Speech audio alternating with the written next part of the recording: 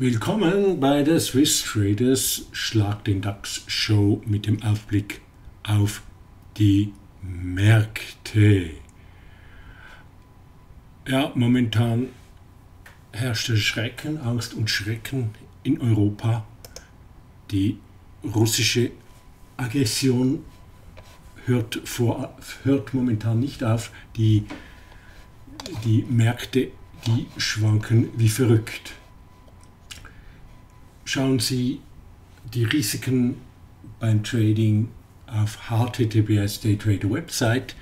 Ein Kanalabo hält Sie auf dem Laufenden. Aktivieren Sie die Glocke. Der Disclaimer: Es findet keinerlei Anlageberatung statt. Ja, wenn wir das schauen, sehr nervöse Bewegungen hier über das H1 Maximum, dann wieder unter das H1 Maximum, da 12,698, also 12,600 und da 12,762, also so 100 Punkte, die können dann sehr rasch mal abgearbeitet werden. Es besteht auch die Gefahr, dass, dass es massive technische äh, Bewegungen gibt, technische Ausgleichsbewegungen nach oben. Schauen wir mal noch Trading View an.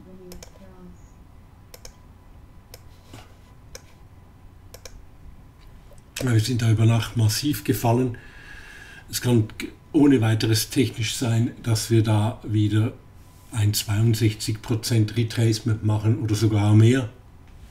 Aber es kann auch sein, dass wir da weiter nach unten gehen und die, ja, ein mögliches Ziel wäre etwa 11,450 oder 9971. Das, das 9971 war äh, das Corona-Tief. Schauen wir da mal im ja, im Monatschart am besten mal. Ja, das sieht schon ziemlich massiv aus. Wir hatten jetzt schon äh, drei Monate rote Kerzen. Es ist da natürlich massiv nach oben gegangen, massive äh, Aufblähung des Marktes und jetzt kommen wir zurück. Da, ja, vielleicht 12, 7, 8 hier ein bedeutendes Tief und hier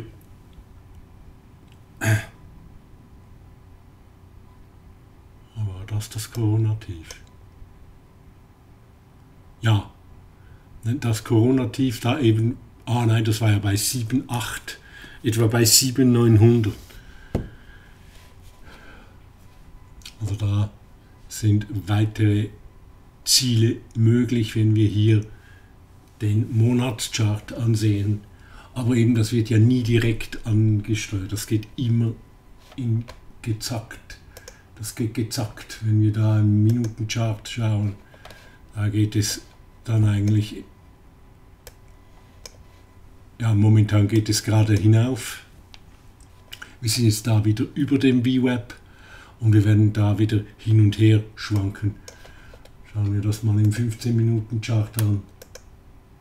Also es geht da nicht geradelinig. Hier habe ich noch die, äh, den VWAP gezeichnet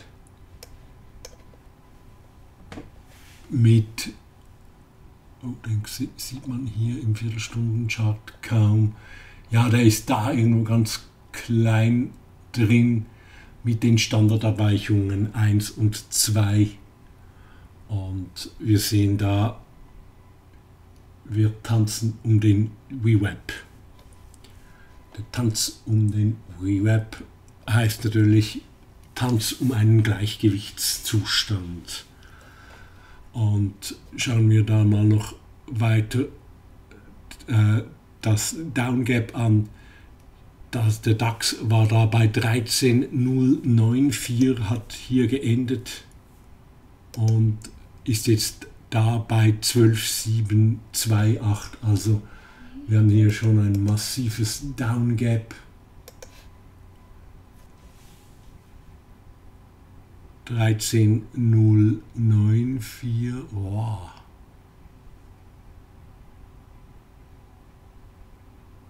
Ja, das ist das Down Gap. Jetzt, was kann da werden, wenn wir so einen riesen Down Gap haben? Es, es kann zum Teil geschlossen werden. Es könnte aber auch Gap and Go geben um 9 Uhr, dass es weiter runter geht. Jetzt ziemlich unklar. Man muss einfach sehr vorsichtig sein heute mit Traden. Kleine Positionen traden. Dann schauen wir DXY an. Der DXY immer sehr wichtig. Wenn der steigt, sinken die Aktienkurse. Momentan ist der DXY extrem hoch. Der war schon lange nicht mehr so hoch. Also Fluchtwährung, US-Dollar, der Rubel, der wird verlassen. Der Rubel wird in US-Dollar gewechselt. Fluchtwährung. Darum so hohe Werte.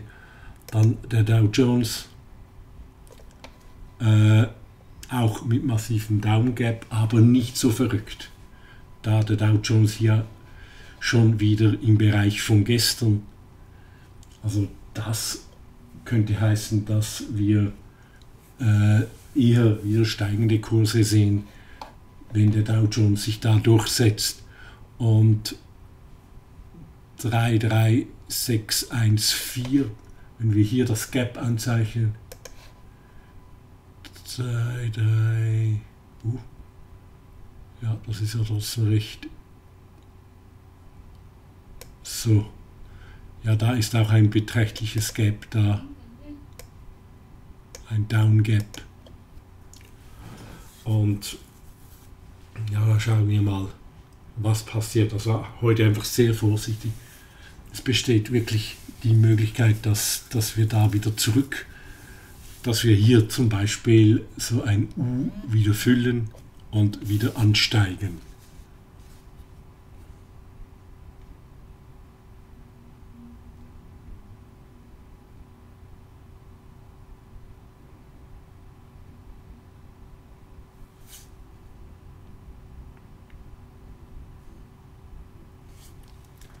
Ja.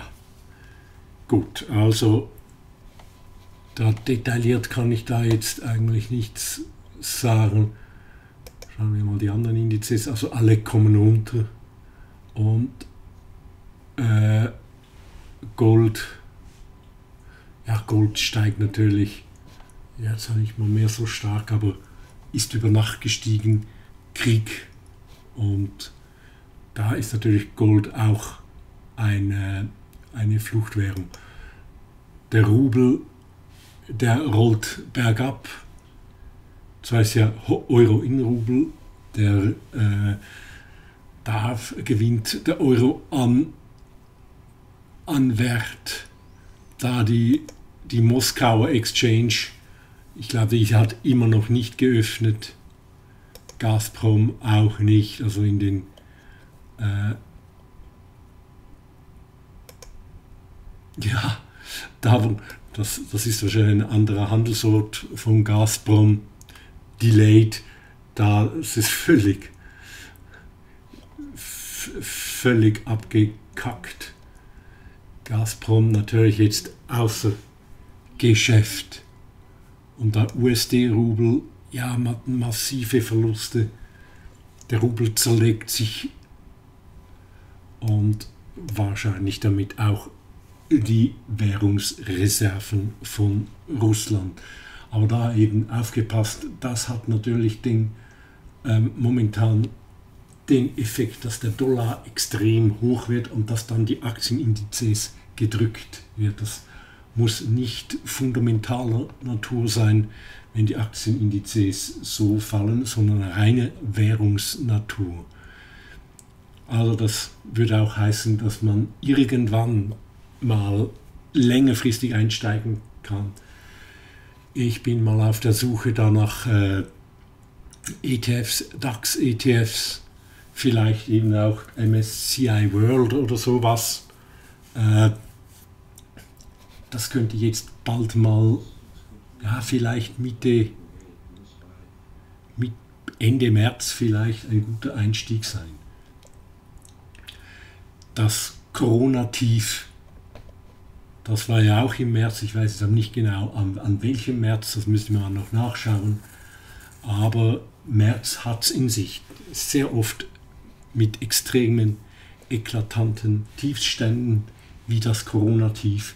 Und da hätte man langfristig einsteigen sollen mit ETFs, also mit wenig Gebühren, mit CFDs kann man da nicht, nichts Langfristiges machen, weil CFDs äh, zu hohe Übernachtgebühren haben. Also ich zahle hier zum Beispiel bei äh, ähm, bei diesem Broker äh, 1,40 pro Nacht. Jetzt ist, sind wahrscheinlich die Gebühren ein bisschen günstiger, weil eben die Kurse gefallen sind. Aber trotzdem, es, es kostet ziemlich viel, da Positionen länger zu behalten. Gut, das war's bei Swiss Trader. Ich komme später dann mit Live Trading. Tschüss zusammen.